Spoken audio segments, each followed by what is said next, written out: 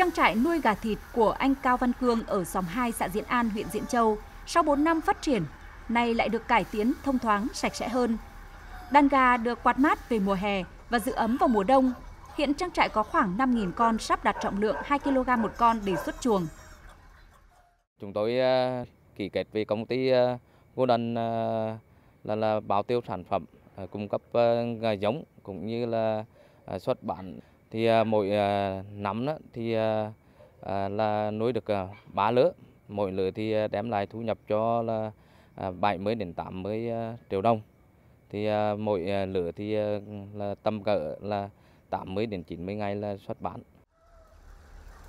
Thực hiện mô hình liên kết, những hộ như gia đình anh Cao Văn Cương được cấp con giống, thức ăn, quy trình chăm sóc, phòng bệnh theo định kỳ.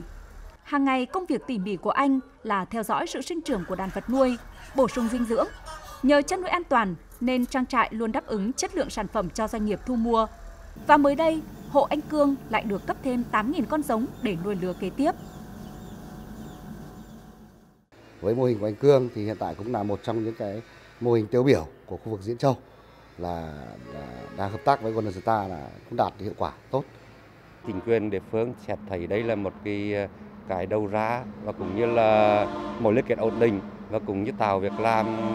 và cái thu nhập ổn định cho người dân không lo thị trường à, bất ổn về cái giá cả sắp tới à, trong cái uh, chương trình phát triển nông thôn mới nâng cao thì sẽ uh, đầu tư về hỗ trợ về cái chủ trương và cũng như là quy hoạch một số vùng mạnh diện tích hỗ trợ cho người dân để phát triển một số về kinh tế giá trại và phục vụ cho cái chăn nuôi liên kết. Xã Diễn An có 24 hộ nuôi gà theo mô hình liên kết với doanh nghiệp. Tất cả các gia trại nhỏ lẻ sau khi liên kết với công ty đầu mối đều trở thành các trang trại nuôi gà thịt quy mô